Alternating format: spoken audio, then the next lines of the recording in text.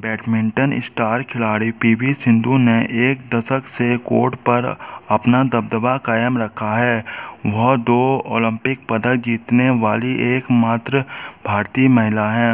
उन्होंने Rio Olympics 2016 में रजत पदक और टोक्यो पैरालंपिक्स में कांस्य पदक जीता था। इसके अलावा उन्होंने 2019 में विश्व चैंपियनशिप का भी हासिल की थी। 8 अगस्त 2023 नितिन पांडेय